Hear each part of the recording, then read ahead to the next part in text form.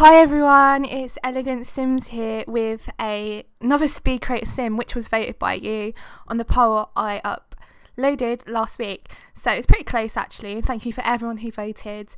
Um, I'll put the results in the description below. So if you want to press that and see what everyone voted for, if you voted. Um, so yeah, this Sim's not really inspired by anything. I just think she's pretty cool.